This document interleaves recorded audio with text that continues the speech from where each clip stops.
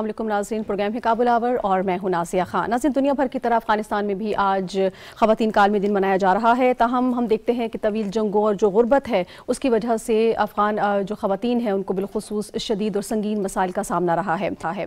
तालिबान जब से बरसर इकतदार आए हैं, मुसलसल आलमी बरदरी की जानब से एक दबाव है, एक प्रेशर है तालिबान हुकूमत की जान, के ऊपर कि वो ख़वातीन की जो हकूक़ हैं, उनके हवाले से पासदारी करें और जितने भी इकदाम लिए जाने चाहिए, उनको यकीनी बनाएँ। हम देख रहे हैं कि मगरबी मीडिया में यह तासर दिया जा रहा है कि जिस तरह तालिबान हुकूमत ख़वातीन की ना नौकरी के हक़ में है, ना उनके तालीम के हक़ में है, ना उनके माशरे में किसी किरदार के हक़ में है। और हम मुसलसल देख रहे हैं कि बड़ी भयानक मंजरकशी की जाती है जब भी ख़वातीन की, अफ़गानिस्तान की ख़वातीन की बात की जाती है।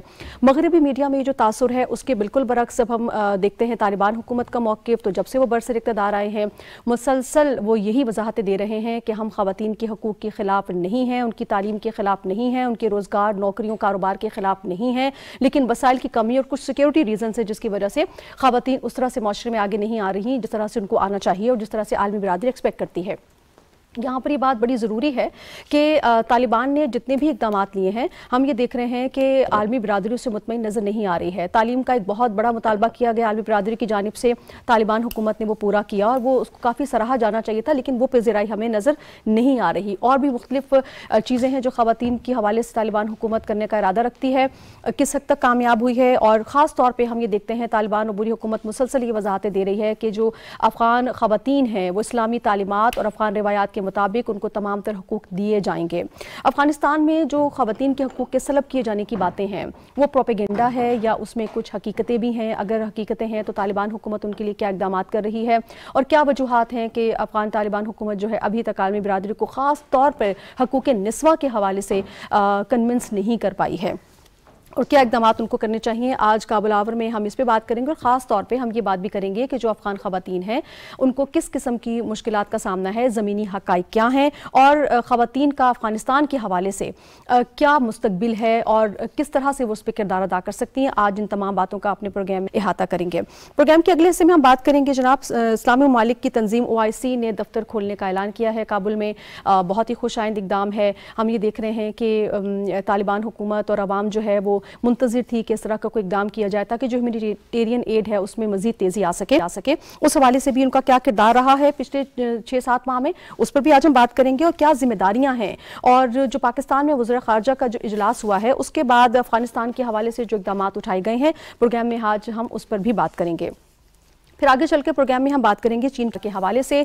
चीन के हवाले से हम देखते हैं कि जब से अफ़गानिस्तान में तालिबान बरस इकतदार आए हैं चीन आलीन आलमी फोरम्स पर मुसलसल अफ़गानिस्तान के लिए आवाज़ बुलंद करता रहा है। मुंजमद असासों की बहाली हो या पाबंदियाँ उठाए जाने के मामला हों, मुसलसल वो अमरीका पर यह ज़ोर देता रहा है कि इस तरह के इकदाम ना किए जाएँ और जो पाबंदियाँ हैं उनको उठा लिया जाए ताकि जो मुश्किल हैं, जो इकतदी मुश्किल हैं मौशी मुश्किल हैं, उनसे अफ़गानिस्तान के जो आवाम हैं, जो लोग हैं, जो हुक्मरान हैं, वो निकल आएँ। और ख़ास तौर पर आज हम बात करेंगे कि वज़ीर खारजा जो है चीन वांगजी उनका आया है बयान जिसमें वो ये कहते हैं कि चीन जो है अफ़गानिस्तान में अमन इसकाम के लिए किरदार अदा करने के लिए तैयार है। उस हवाले से भी आज हम प्रोग्राम में बात करेंगे लेकिन मुझे इस वक्त स्टूडियो में ज्वाइन कर चुके हैं हमायूं खान साहब बहुत शुक्रिया सर आपने ज्वाइन किया। नोखेसाई साहब ज्वाइन कर चुके हैं बहुत शुक्रिया सर आपने ज्वाइन किया। रुखी सब सबसे पहले मैं आप ही की जानब आऊँगी। ख़वान का आलमी दिन मनाया जा रहा है और आलमी बरदरी का एक मुसलसल प्रेशर रहा है तालिबान हुकूमत पर। आ, बुरी हुकूमत की जानब से मुसलसल ये वजाहतें दी जाती रही हैं कि हम उनकी हकूक़ की पासदारी कर रहे हैं। आज भी ट्विटर पर और मुख्त पैगाम में जो अफ़गान अबूरी हुकूमत की तरफ़ से मौक़ सामने आया है वो क्या पैगाम रखता है अफ़गान ख़वान के लिए और ख़ास कर आलमी बरदरी के लिए देखें सबसे पहले तो मैं आपको ये बताऊँ कि जो दुनिया की एक डिमांड थी पिछले कई दिनों कई महीनों से जो चल रही थी कि ख़वान के हवाले से कि उनके स्कूल खुलने चाहिए हम्म। जो बच्चियों की एजुकेशन के हवाले से बहुत ज़्यादा बात हो रही थी तो अफ़गानिस्तान की अबूरी हुकूमत ने वो अपना जो एक डिमांड थी उसको पूरा किया और जो स्कूल थे यूनिवर्सिटीज़ थी उनको ओपन कर दिया फॉर जो वुमेन एंड फीमेल जो थी। इसके अलावा आप देखें कि उनकी तरफ़ से बड़े वाज पैगाम दिए गए हैं कि ख़वान के हकूक़ के लिए हम बिल्कुल कोशिश कर रहे हैं। फिर जो उनके फॉर्मर प्रेजिडेंट हैं अब्दुल्ला अब्दुल्ला उन्होंने बड़ा तस्लीम किया ख़वान की कुर्बानियों को। तो मेरा ख्याल है एक अच्छा मैसेज दिया जा रहा है और वुमेन राइट्स की क्योंकि अफ़गानिस्तान को लेकर बहुत ज़्यादा बात होती आ रही है। तो मेरा ख्याल है कि जो लोग वहाँ से रिपोर्टिंग करके आए हैं और जो अभी उधर लोग लोग हैं जिनसे हमारी बात हो रही है स्पेशली मेरी काबुल में जिन लोगों से बात हुई थी ख़वान के हवाले से तो वो कह रहे थे कि इधर ख़वान जो है अपने इंडिपेंडेंटली जो है बाज़ारों में उनको इजाज़त है आने जाने की और वो अपने रोज़मर्रा का जो है काम कर रही हैं। लेकिन मसला ये है कि अब जो लोग उनको दुनिया देखना चाहती है, जो दफ्तरों में या ऑफ़िस में और बाकी जगहों पे तो उनके लिए भी मेरे ख्याल उस तरह के जो मसाइल जो हम डिस्कस करते आ रहे हैं कि अभी रिसोर्स नहीं है अभी उस तरह जो है उनके पास चीज़ें नहीं है खातन के हवाले से यानी उनके पास अभी बजट की कमी है और बहुत सारे यानी एक लाख चौरानवे हज़ार टीचर्स की अगर हम बात करें जिसमें एक बड़ी जो है तादाद जो है खातन की है तो अभी उनको छः माह की तनख्वाहें नहीं दी दी गई और बड़े कम जो है उनको वेजेस दे हम्म। दिए जा रहे हैं मंथली इसमें कोई हकीकत नहीं कि जो इसमें कोई वो डाउट नहीं कि खातन जो है 48 परसेंट अफ़गानिस्तान की जो बहुत अहमियत की हामल है। हम्म, हम्म। और अफ़गानिस्तान की खातन को आप नज़रअंदाज नहीं कर सकते।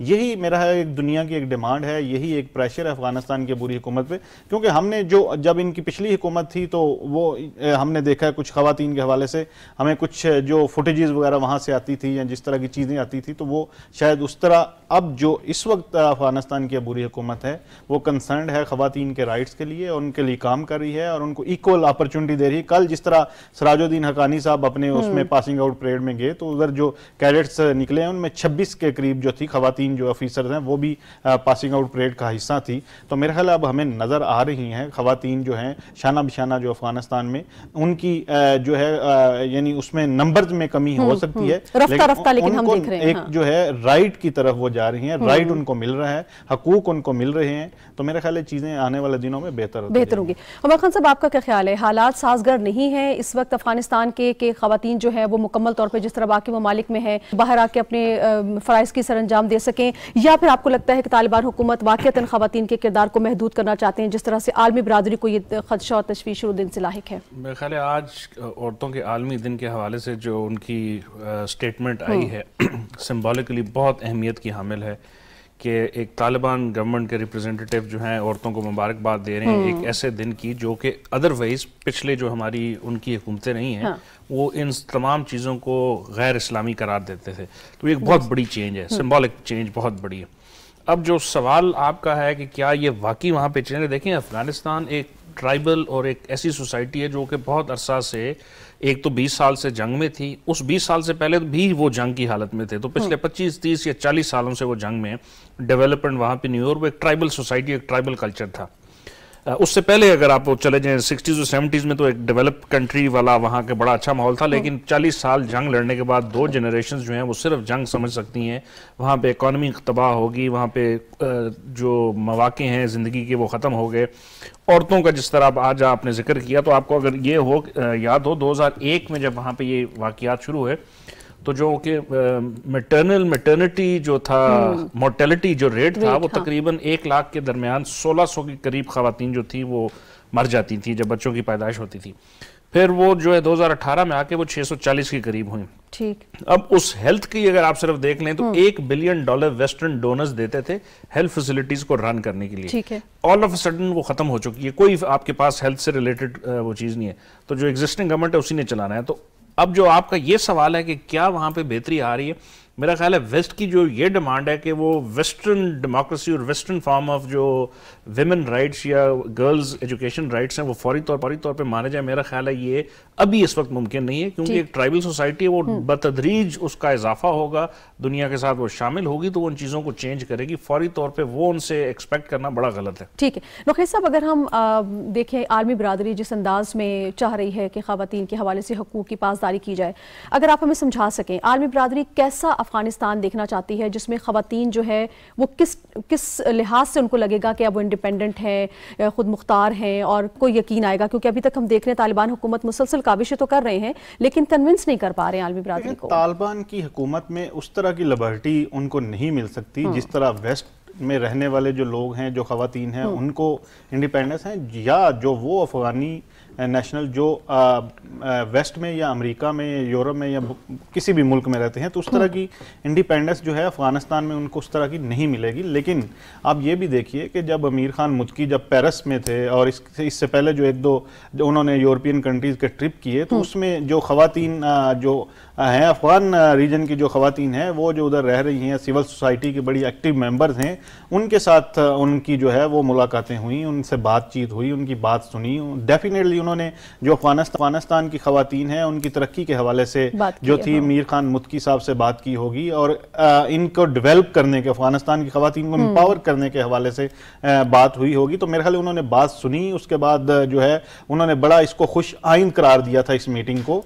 तो मेरे ख्याल है जिस तरह हम देख रहे हैं चीज़ें अफ़गानिस्तान में आहिस्ता आहिस्ता बेहतर हो रही हैं हम्म। क्योंकि हर चीज़ जो है उनकी जुड़ी हुई है रिसोर्सेज से तो जब तक उनकी हुकूमत एम्पावर नहीं होगी जब उनके पास रिसोर्सेज नहीं होंगे तो वो अपनी कम्युनिटी को उस तरह सर्व नहीं कर सकेंगे यानी उनकी जो 70 परसेंट जो उनकी थी इकानमी वो फॉरन एड पे चली थी हम्म। और पिछले आठ माह में या सात माह में हम देखें तो उनका तमाम जो है वो फॉरन एड पे सारी चीज़ें शिफ्ट हो चुकी हाँ।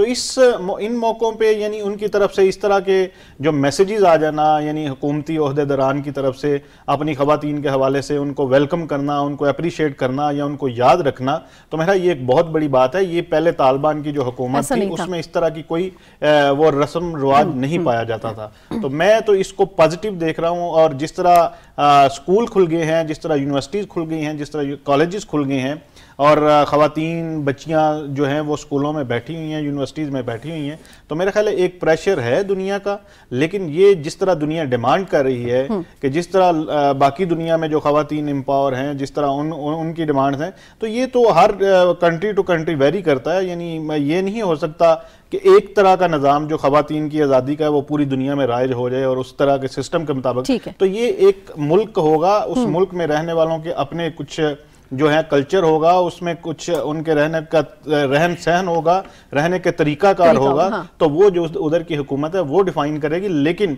उसको ये इजाज़त नहीं देगी दुनिया कि वो किसी खातून के ऊपर जुल्म करें, उसको आगे ना बढ़ने दें, उसको आगे बढ़ने के मौके ना दें, ये उनकी ज़िम्मेदारी होगी, ये सारी चीज़ें उनको प्रोवाइड करना। ठीक है।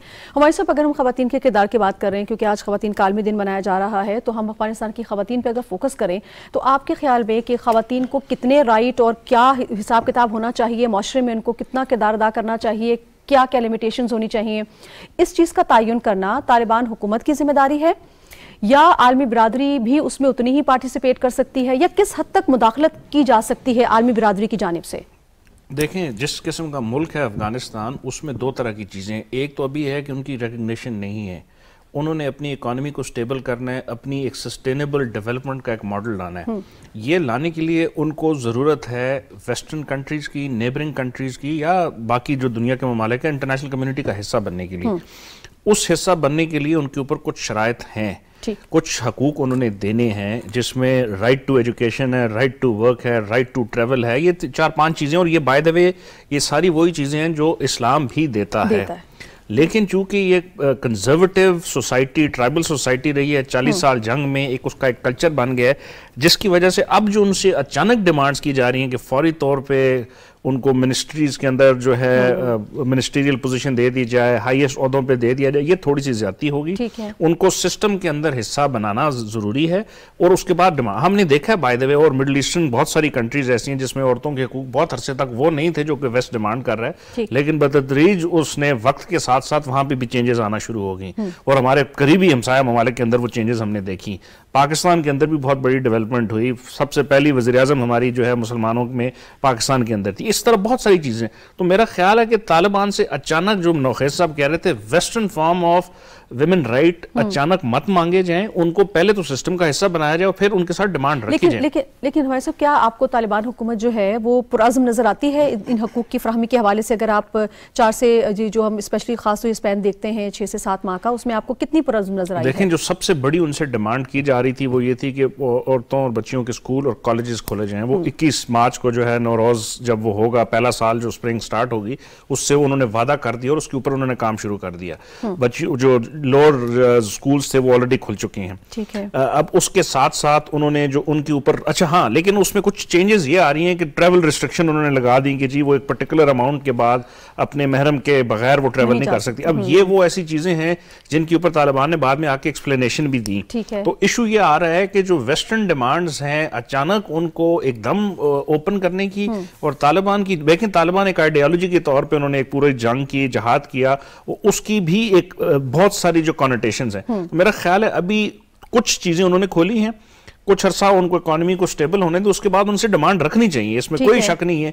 लेकिन जब तक 48 परसेंट उनकी औरतें अगर वो इकोनॉमी के अंदर कंट्रीब्यूट नहीं करेंगी वो ट्रेवल नहीं कर सकेंगी वो और बहुत सारी चीज़ों के अंदर अगर उनके पास इख्तियार नहीं होंगे तो कौम कभी भी तरक्की नहीं कर सकती। तो मेरा ख्याल है अभी उनसे ये डिमांड कम रखनी चाहिए उनको इकोनॉमी को स्टेबल करके हिस्सा बनाए इंटरनेशनल कम्युनिटी का और फिर उनसे आहिस्ता आहिस्ता ये डिमांड रखें और उनकी अपनी आवाम उठेगी बाय द वे ठीक है बिल्कुल।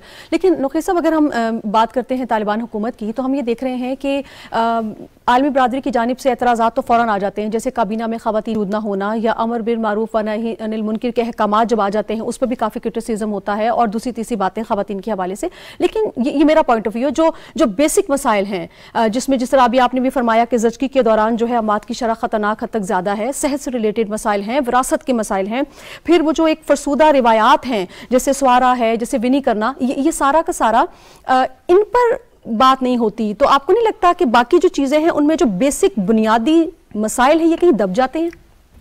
देखें अभी जो है अफ़गानिस्तान की अबूरी हुकूमत के इतने बड़े बड़े मसाइल हैं कि उनमें ये मसाइल जो हैं उन, उनकी शायद प्रायोरिटी नहीं होंगी इसको सेटल करना। ठीक। क्योंकि उनका मसला अभी जो है अपने बैंकिंग सेक्टर को एक्टिवेट करना अपने हेल्थ सिस्टम को एक्टिवेट करना अपनी अकानमी को चलाना अपने एजुकेशन सेक्टर को इसके साथ साथ अपनी फोर्स जो है उसको जो वो बिल्ड कर रहे हैं उस पर फोकस किए हुए हैं। ये तो है। खवातीन की उस तरह के इशूज जो है मेरा ख्याल अफ़गानिस्तान में ये जो बात अहब कर रही है दुनिया अ, जिसकी तरफ़ इशारा कर रही है मेरा ये उस वक्त तक आप डिमांड दुनिया की मेरे ख्याल उस तरह ठीक नहीं होगी जब तक ये अफ़गानिस्तान की अबूरी हुकूमत अपने पाँव पे कम अज कम खड़ा ना होना शुरू हो जाए।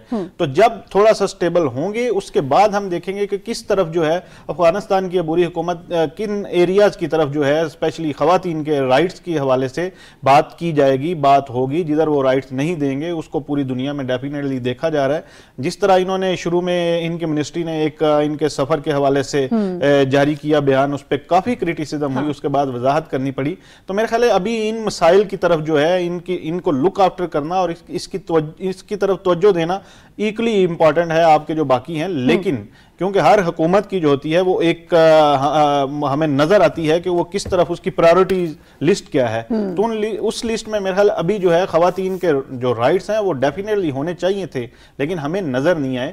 लेकिन मेरा फिर एक क्वेश्चन वही है कि जब आप इनको तीन साल लेके दोहा में बैठे रहे थे तो उस वक्त भी तो आपको इस तरह की डिमांड्स करनी चाहिए थी कि आपकी 48 परसेंट जो है वो पॉपुलेशन जो है वो आपकी वुमेन है तो आपके किसी डेलीगेशन में कोई हमें इस तरह का वो रोल नज़र नहीं आ रहा। कोई वोमेन लीडर के हवाले से हमें ना अफ़गानिस्तान में काम करती हुई नज़र आ रही हैं आपके ग्रुप्स में ना इधर नज़र आ रही हैं। तो उस वक्त भी तो क्वेश्चन होना चाहिए था। अब क्योंकि एक प्रेशर टैक्टिक्स जो हैं वो शुरू हुए हुए हैं तो ये एक सबसे इजी इजी थिंग है कि हाँ। इसको जो दुनिया में जिसको फैला दिया जाए जिस पे बात हो क्योंकि पूरी दुनिया में जो है सिविल सोसाइटी बड़े एक्टिवली अफ़गानिस्तान की खवातीन के हवाले से देख रही है। तो मेरा ख्याल है अभी जो अफ़गानिस्तान की अबूरी हुकूमत है उसमें शायद उस तरह खवातीन के मसाइल जो हैं उनकी तरफ़ तवज्जो नहीं दी जाएगी जब तक वो अपने पाँव पे खड़े नहीं हो जाने अपनी इकानमी को बेहतर नहीं कर बिल्कुल ठीक। हमारे साहब अगर हम आलमी बरदरी के किरदार की बात करते हैं आलमी बरदरी हमें कंसर्न नज़र आती है खातन की इशूज़ को लेकर जैसे तालीम है या सेहत है या उसकी नौकरियों के हवाले से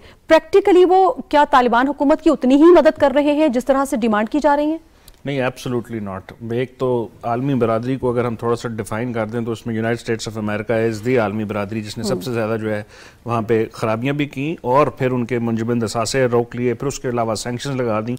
फिर उसके अलावा बाकी मुल्क भी मुल्क भी यूएस की तरफ़ देखते हैं कोई भी डिसीज़न लेने से पहले लेकिन हमारे साहब खातन के हकूक के हवाले से इस्लामी ममालिक भी तालिबान हुकूमत से इसी किस्म का तकाजा करते हैं देखें वो उसकी रीज़न यही है कि हम बेसिकली जो इस्लामी ममालिक में तो राइट्स शायद उस तरह नहीं मिल भी नहीं रहे नहीं मिल रहे वो दूसरों से तकाजा शायद कर रहे हों लेकिन हम्म। जहाँ तक अपने उनके मुल्क में बहुत सारे राइट्स की बात है तो वो शायद वो जो वेस्टर्न डिमांड्स है वो वहाँ पे भी पूरी नहीं हो रही लेकिन चूँकि ये कतः नज़र इससे कि वहाँ पे हो रहा है यानी अफ़गानिस्तान हम्म। के हालात के ऊपर हम गुफ्तु कर रहे हैं हम्म। तो उसमें जो अमरीका है ये बेसिकली नखेज साहब ने एक बड़ा वैलिड पॉइंट उठाया कि जब आपकी दोहा मुहिदा हो रहा था आपने डेढ़ पौने दो साल उनके साथ गुफ्तु की उस गुफ्तु में आपने कभी भी उनसे ये नहीं कहा कि आप अपने डेलीगेशन में औरतों को भी लेके आए हम्म। या ऐसी बात करें हाँ पहले ये था कि इंटर गवर्नमेंटल जो है उसके ऊपर वो गुफ्तु करते थे और उसमें तालिबान ने औरतों के साथ जो उस वक्त की हुकूमत के अंदर टकरात के साथ गुफ्तु भी की लेकिन पॉइंट ये है कि यूएस जो है वो इस गवर्नमेंट के साथ एक तो उसकी डिमांड्स हैं वो फॉरन हम्म। ऐसी हैं जिस तरह वो किसी वेस्टर्न कैपिटल के अंदर अपनी डिमांड रख रहा हो और उसके साथ जो उसकी रिस्पॉन्सिबिलिटीज हैं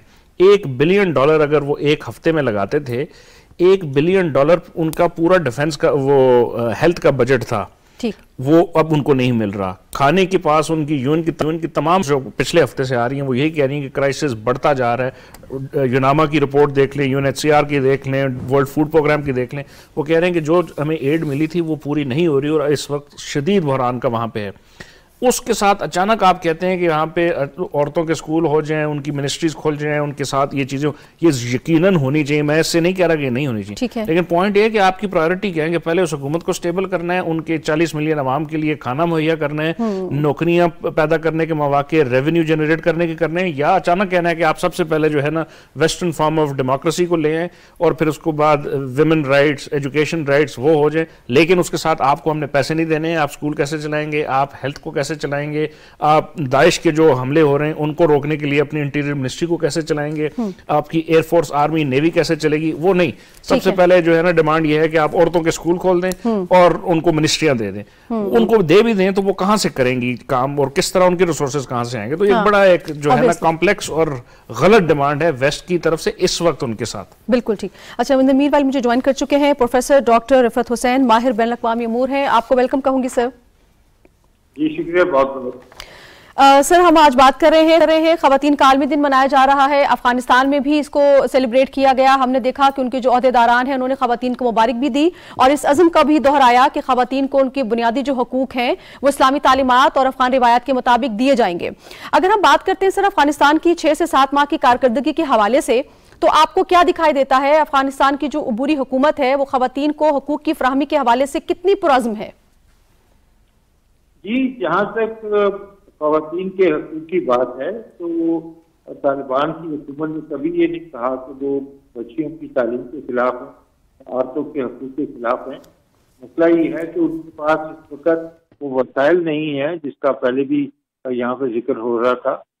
तो उसके उसके तनाजर में वो ये जो ह्यूमन राइट्स वायलेशन की बात हो रही है, या ह्यूमन राइट्स की तकमील के हवाले से तालिबान हुकूमत से जो मुतालबा किया जा रहा है हम्म। उस उसको उस तनाजर में देखना चाहिए कि वसाइल की कमी के बावजूद भी उन्होंने कुछ लिमिटेड जगहों के ऊपर जो खातन है उनके लिए एजुकेशन का भी बंदोबस्त किया है उन्होंने कभी ये इस कमिटमेंट से इनकार नहीं किया हम्म। कि खातन के हकूक की प्रमोशन के लिए वो अफगान वो बैन अवी बरदरी की जो भी मुतालबात हैं वो उसको उसको पूरा करने से गुरेज करेंगे। तो ये तो एक बहुत बड़ी हकीकत है कि अफ़गानिस्तान में बच्चों से लेके गरीब आवाम से लेके बूढ़े लोगों से लेके हर एक बंदे को इस वक्त ह्यूमैनिटेरियन असिस्टेंस की ज़रूरत है। और उसके हवाले से जैसा कि तमाम रिपोर्ट्स के अंदर भी ये बात वाज तौर पर कही जा चुकी है। वो यूएन की रिपोर्ट हो या फ़ूड प्रोग्राम की रिपोर्ट हो उसमें वो कह रहे हैं कि अगर फौरी तौर पे एमरजेंसी तौर के के तौर पे अगर अफ़गानिस्तान को इमदाद मुहैया ना की गई हम्म। तो तकरीबन आधी से ज़्यादा आबादी जो है वो इस कदर मजबूर हो जाएगी कि फिर वो उनकी किसी किस्म की भी हेल्प नहीं की जा सकती पहले तो इंटरनेशनल कम्युनिटी को ये डिमांड करने से पहले सोचना चाहिए कि जब तक अफ़गानिस्तान में जो अमूमी सूरत हाल है हम्म। राइट्स की वजह से जो ह्यूमन नीड के बाद ह्यूमन राइट्स की बात नहीं करता क्योंकि ह्यूमन राइट्स उस वक्त जो है उसका मुतालबा था आपको सूरत करते हैं जब आपकी ह्यूमन नीड्स पूरी हो रही। ठीक है। तो जब नीड्स ही पूरी नहीं हो रही तो वो फिर उनके इस किस्म का मुतालबा इस वक्त के इस वक्त के मौके के हवाले से मेरे ख्याल में वो कोई जायज़ मुतालबा नहीं है। बिल्कुल ठीक। हाँ इस, इसका मतलब ये नहीं है कि इंटरनेशनल कम्युनिटी जो है वो गर्ल्स एजुकेशन के हवाले से या वेमेन के जो सोशल इकनॉमिक और पोलिटिकल राइट्स हैं, उससे मुँह मुँह फेर ले। लेकिन हमें जो हकीकत है, अफ़गानिस्तान की मुआशी बैंक की जो हकीकत है, उसको भी हमें बिल्कुल ठीक। डॉक्टर साहब मैं थोड़ा सा प्रोग्राम को आगे लेके जाऊँ और अगर हम बात करें चीन के वज़ीर खारजा वांगजी के हवाले से तो उनका जो हालिया बयान काफ़ी अहमियत का हामिल है जिसमें वो कहते हैं कि चीन जो है वो अफ़गानिस्तान के अमन इसकाम में किरदार अदा करने के लिए तैयार है। आप जो बदलती हुई सूरत हाल है वा, वाकत तो हालात हैं उसमें चीन के किरदार को अफ़गानिस्तान के इसकाम और अमन के हवाले से कैसे देखते हैं? चीन चीन का बड़ा मरकजी रोल है अफ़गानिस्तान की इकोनॉमिक सूरत हाल हो या ह्यूमन राइट्स के हवाले से हो, उसको स्टेबलाइज करने के लिए मेरे ख्याल में चीन का एक बड़ा कुलीदी किरदार है। और इस हवाले से चीन बायलैटरली भी कोशिश ये कर रहा है, पाकिस्तान के साथ मिलकर भी कोशिश ये कर रहा है। और एस के फ्रेमवर्क के अंदर रहते हुए भी चीन जो है जितनी मदद कर सकता है। वो अफ़गानिस्तान की हुकूमत के लिए करने की तैयार है। लेकिन इसके हवाले से पूरी दुनिया की तरह चीन की भी ये तो है, तालिबान की हुकूमत से। कि जो भी उनकी जरूरियात है उनको पूरा करने के हवाले से अगर अफ़गानिस्तान की हुकूमत ने जो भी वादे किए हैं तो उसके वजह से किसी किस्म की रेसिप्रोसिटी होनी चाहिए। ये नहीं है कि आप चीन से मदद देते हैं लेकिन जो अवी बरदरी के जो मुतालबात हैं उनसे मुँह मोड़ लें और वो इंक्लूसिव हुकूमत की वो बात कर रहे हैं। इस बारे से मेरे ख्याल में चीन का एक बड़ा मरकजी किरदार है और खास तौर पर जो इस वक्त भारत की तरफ़ से हमले किए जा रहे हैं। वो नेबरिंग स्टेट पाकिस्तान के वाले से भी है और वो चीन के आ, के अंदर भी जो उइगर के राइट्स के हवाले से है उसके अंदर भी अफ़गानिस्तान की तरफ़ से उनको काफ़ी हेल्प की ज़रूरत है। तो ये मेरे ख्याल में आ, जो इस वक्त अच्छी फजा बनी है तालिबान की हुकूमत के आने से वो, वो उसके हवाले से तालिबान से जो एक्सपेक्टेशन है चीनी हुकूमत की उसको पूरा करने के लिए भी पूरी कोशिश जो है तालिबान की जी, बिल्कुल ठीक। हमारे साहब, अगर हम चीन के किरदार की बात करते हैं, जैसा प्रोफेसर साहब ने फरमाया कि बहुत अहमियत का हामिल है उनका किरदार लेकिन जब से तालिबान बरस इकतदार आए, हमने देखा कि ये तो की जा रही थी एक्सपेक्टेशन थी कि चूँकि वो एक आलमी ताकत है तो वो हो सकता है कि फौरी तौर पर माली इमदाद करे अफ़गानिस्तान की और बहरान से निकल आए इंसानी बहरान से, लेकिन ऐसा हमने नहीं देखा। अब आप चीन के किरदार को क्या बहुत ज़्यादा आगे जाता हुआ महसूस कर रहे हैं, या आपको लग रहा है कि अमन में वो किस किस्म का किरदार अदा कर सकते हैं, जिस तरह की स्टेटमेंट सामने आई है? अच्छा एक तो ये जो स्टेट काउंसलर मिस्टर वांग ही की स्टेटमेंट थी प्रेस कॉन्फ्रेंस में उन्होंने की उन्होंने बड़ा खुल के जो है अपनी फॉरेन पॉलिसी टुवर्ड्स अफ़गानिस्तान को जो है एनएनसीएट किया और उसमें कहा कि इसके खत्े की ख़राबी या इंस्टेबिलिटी की जो सबसे बड़ी जड़ है वो अमेरिका है। और उसकी जल्दी यहाँ से भाग जाना जो जिस किस्म के अल्फाज उन्होंने यूज़ किए हाँ। कि जल्दी वहाँ से छोड़ के चले गए फिर उनके एसेट्स जो है फ्रीज कर लिए।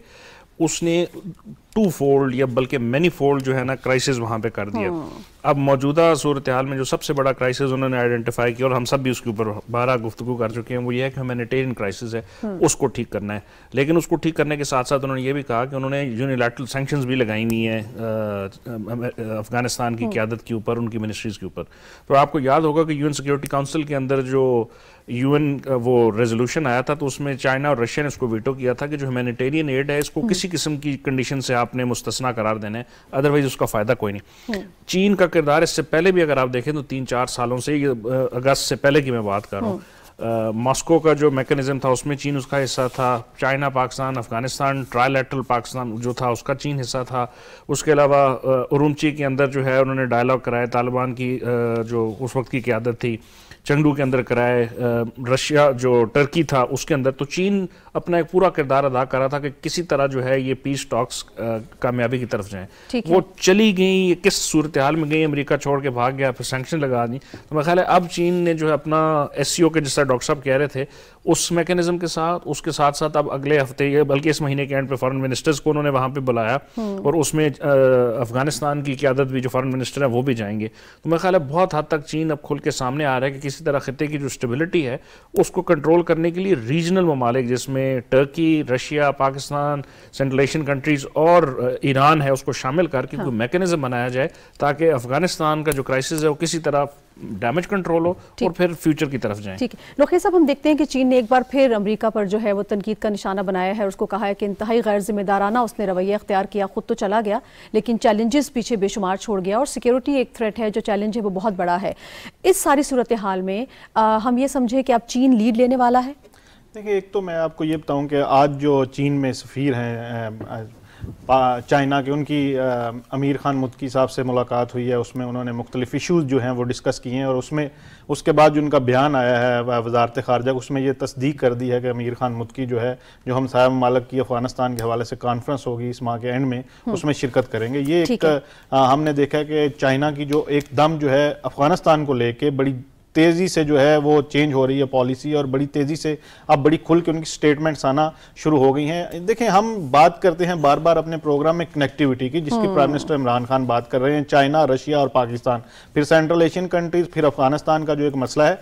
तो इस रीजन में मेरा ख्याल है अब रीजनल कंट्रीज़ ने भी आठ महीने में देख लिया है कि किस अगर आपने आगे जाना है हम्म। इस रीजन को आगे लेके जाना है तो ये जो अफ़गानिस्तान वाला डाट है जो अफ़गानिस्तान का क्राइसिस है इसको किसी ना किसी तरीके जो है सार्ट आउट करने के लिए अपना रोल प्ले करना पड़ेगा क्योंकि इस वक्त जो हम बार बार बात करते हैं कि इस रीजन में जो इंस्टेबिलिटी है वो हम्म। सिर्फ़ और सिर्फ़ अफ़गानिस्तान में है और वो टोटली जो है यूएस को सूट करती है क्योंकि अगर आपने इस रीजन को आगे लेके जाना है तो फिर इस इस जो अफ़गानिस्तान की सरजमीन है इसको सिक्योर करना पड़ेगा। इस पे जो दहशतगर्द तंजीमों के जो अपनी पॉकेट्स बनाई हुई हैं उन पे काबू पाने के लिए जो अफ़गानिस्तान की अबूरी हुकूमत है उसके साथ खड़ा होना पड़ेगा। उसको एम्पावर करना पड़ेगा। नहीं तो देखें आए दिन नई लहर शुरू हो जाती है हम्म, दहशत गर्दी हम्म। की और इसकी जो ले रही ज़िम्मेदारी वो आई एस आई एस और कभी आई एस आई के की तरफ़ से आती है जो हम्म। अफ़गानिस्तान में एक्टिविटीज़ हो रही हैं। तो अगर आपने इस रीजन को आगे लेके जाना है तो उसमें में आपको सबसे पहले अफ़गानिस्तान का जो है उसका मसला हल करना पड़ेगा और अब हमने देखे कि बहुत ज़्यादा एक्टिविटीज़ जो हैं आने वाली हैं स्पेशली रीजनल कंट्रीज़ को लेके अफ़गानिस्तान ये चाइना में हो रही हैं फिर ट्राइका प्लस की मीटिंग हम्म। शेड्यूल है। तो मेरे ख्याल है इस तरफ़ अब जो है इस रीजन के बड़े प्लेयर्स का एक ध्यान हो गया बिल्कुल ठीक। प्रोफेसर साहब मैं आपकी जानब आऊँगी। चीन के हवाले से अगर हम बात करते हैं तो हम देखते हैं कि चीन जो है वो अमरीका को मुसलसल जो है वो मुरद इल्ज़ाम ठहराता है जो कुछ अफ़गानिस्तान में हुआ। और वो ये समझता है कि जो मुंजमद असासे हैं जो सेंक्शन हैं उनकी वजह से हालात काफ़ी ख़राब हुए हैं। आपका क्या ख्याल है कि जो मुंजमद असासों वाला मामला है या फिर जो सेंक्शन है अफ़गानिस्तान में इस ये कितने बड़े फैक्टर्स हैं इंसानी बहरान के हवाले से जी आ, मैं समझता हूँ कि इसका बड़ा कुलीदी किरदार है अफ़गानिस्तान की सूरत हाल को हम्म। जिसको जिसको ऊपर हम बहस कर रहे हैं उसको ग्रेवेट करने के हवाले से क्योंकि मुंजमद असासे जो हैं वो अफ़गानिस्तान के अपने असासी हैं या उन्होंने उन लोगों के असासी हैं जिन्होंने अमेरिकन जो बैंक्स के अंदर ये असासे रखे हुए थे। आपको याद होगा कि पिछले कुछ दो तीन महीनों के अंदर बाइडन हुकूमत ने यह फैसला किया कि इन असासों में से कुछ रकम जो है मेरे ख्याल में साढ़े तीन अरब डॉलर के करीब वो रकम है उसको वो आ, अपनी ज़रूरत के मुताबिक और उनको चैनल करेंगे लेकिन उसके लिए वो हुकूमती चैनल को इस्तेमाल नहीं करेंगे। क्योंकि ये है कि अगर हुकूमती चैनल को आप वो अफ़गानिस्तान की जो अपनी जो रकम है अगर आप उनको वापस करेंगे तो उसका गलत इस्तेमाल हो सकता है। ये एक मफरूजे की हैसियत है और ये इसको अफगानी हुकूमत ने भी अफ़गानिस्तान की हुकूमत ने भी इसको कंडेम किया और पूरी इंटरनेशनल कम्युनिटी ने भी इस हवाले से इस इकदाम को सराहा नहीं है बल्कि इसकी मुखालफत की है। एक बात तो ये और दूसरी बात यह है कि अमेरिका को किसी न किसी स्टेज के ऊपर अफ़गानिस्तान हुकूमत के साथ डायरेक्टली इंगेज करना पड़ेगा। ताकि वो उनके साथ जो रवाबित है, उसको नॉर्मलाइज कर सके अब देखिए, ये सिचुएशन ऐसी है जिसके लिए अमेरिका एनजीओ को या अपनी मनपसंद एनजीओ को के ज़रिए या यूएन की एजेंसी के ज़रिए तो पैसे अफ़गानिस्तान के जो अपने पैसे हैं, वो उनको वापस लौटाने की या उनको रिटर्न करने की कोशिश में मसरूफ है लेकिन वो पैसे जो हैं वो डायरेक्ट इमदाद के तहत वो अफ़गानिस्तान के लोगों तक नहीं पहुँच रही और हम्म। मसला ये है कि अगर हुकूमत के पास इतने रिसोर्सेज नहीं है तो वो इसके हवाले से भी अमरीका को अपनी इस हमत अमली के ऊपर परेशानी करनी पड़ेगी और ये वो बैकग्राउंड है जिसके तहत चीन की हुकूमत या उनके नुमाइंदे जो हैं वो अमरीका की जो इल्ज़ाम लगा रहे हैं तो अमरीका की ये जो डिस्क्रिमिनेटरी और जो सफाकाना पॉलिसी है ह्यूमन राइट्स के हवाले से या अफ़गानिस्तान के, अपने जो असासे हैं उसके हवाले से तो उसकी वजह से अफ़गानिस्तान की सूरत हाल जो है वो एग्रेवेट है बिल्कुल ठीक। बहुत शुक्रिया प्रोफेसर डॉक्टर रफत हुसैन साहब आप हमारे साथ रहे। उमर खान साहब मैं आपसे जाते जाती इस हवाले से भी सवाल करना चाहूँगी कि मुझे दसासों के हवाले से जब हम बात करते हैं तो बहुत बड़ा फैक्टर है जो इंसानी बहरान और इकतदी बहरान वहाँ हम देख रहे हैं। आपको लगता है चीन और रीजनल कंट्रीज़ मिलकर आने वाले वक्त में अमरीका को फोर्स कर सकते हैं उस पर दबाव डाल सकते हैं कि वो अपना फैसला वापस ले या जो जिस तरह से एक तरफा तकसीम की गई है उस फैसले से विड्रॉ कर दे? मैं ख्याल अभी तो इसकी अगर आप लीगल कॉन्टेशन में जाएँ तो अमेरिका की एक जो सिविल अदालत थी उसमें जो उनके 9/11 के विक्टिम्स थे उन्होंने एक केस किया और उस केस के बदले में प्रेसिडेंट साहब ने पहले तो इनकार करते रहे कि इस किस्म के हम पैसे दे नहीं सकते और फिर फॉरन फॉरन एक एग्जेक्टिव ऑर्डर कर दिया कि आधे पैसे जो है इनको दिए जाएँगे और आधे, जो है वो दिए जाएँगे। तो ये बेसिकली उन्होंने अपनी स्वाबदीद रखी। ये मेरा ख्याल है ये पैसे बड़े अहम हैं इन टर्म्स ऑफ़ अमाउंट अगर देखी जाए लेकिन हम्म। अगर अफ़गानिस्तान के 40 मिलियन अवाम को देखा जाए और एक पूरी इकानमी और एक उसको सिस्टम को देखा जाए तो ये पीनट्स के तौर पे जो है ना वो समझ आते हैं असल मसला उनका है रिकग्निशन का उनको सिस्टम के अंदर लाने का हम्म। वो अमरीका मेरी ज़ाती राय में जो है आइंदा आने वाले दिनों में भी नहीं लाएगा और उसका मकसद यही होगा कि यहाँ पर इंस्टेबिलिटी बनी रहे और उसका जो काउंटर है अब जो हम जिस तरह नुखेसर में भी आपको बताया कि मार्च के एंड में फॉरेन मिनिस्टर्स की मीटिंग होगी चाइना के अंदर नेबरिंग कंट्रीज़ के उसमें अफ़गानिस्तान के भी आएँगे। उसमें शायद हम रिकग्निशन की तरफ़ जाएँगे रीजनल कंट्रीज़ इनिशिएटिव लेंगी। बिल्कुल ठीक है रीजनल कंट्रीटिव लेंगी। यहाँ पर वक्त ब्रेकअप ब्रेक से जब वापस आएँगे तो ओआईसी के हवाले से बात करेंगे। हमारे साथ रहिएगा।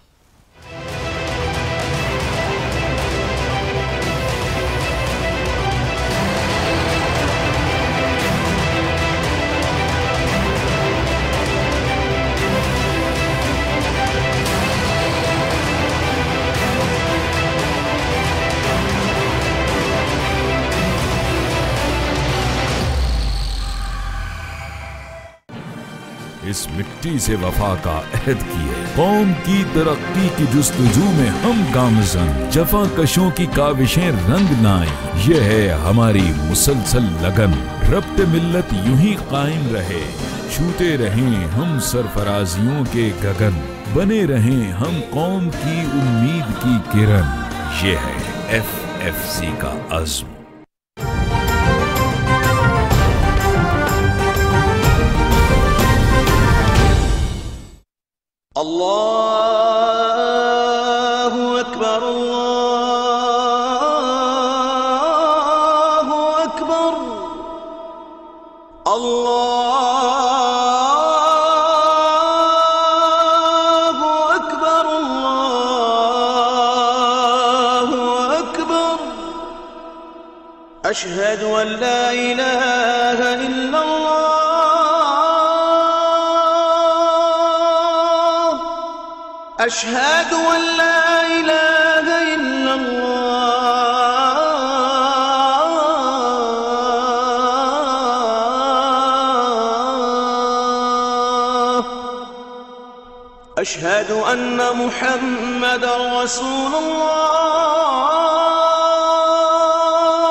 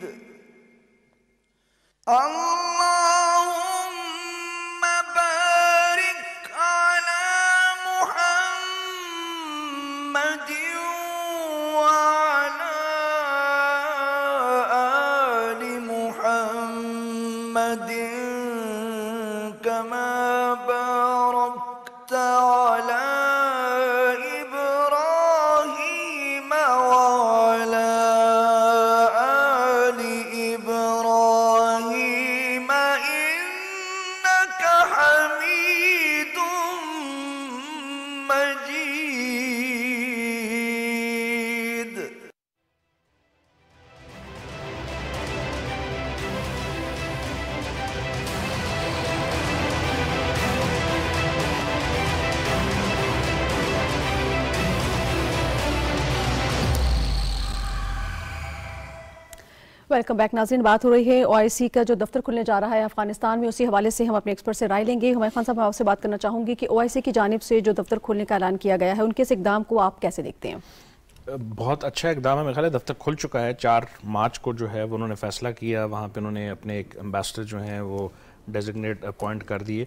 और ये बेसिकली पाकिस्तान की बेसिकली मुबारकबाद पाकिस्तान के फॉरेन ऑफ़िस को और पाकिस्तानी पाकिस्तानी फॉरेन पॉलिसी को मिलनी चाहिए कि ये जो हमने दिसंबर में जो वहाँ पे वो किया था उसके तहत ये जो है अब वो वहाँ पे खुल गया है। अब उसके साथ जो इस्लामी डेवलपमेंट बैंक है उसने एक reconstruction humanitarian aid fund create कर दिया है। उसमें नाइजेरिया ने एक मिलियन डॉलर की एड का ऐलान किया। कुछ और मुल्क जो हैं वो भी करने वाले हैं।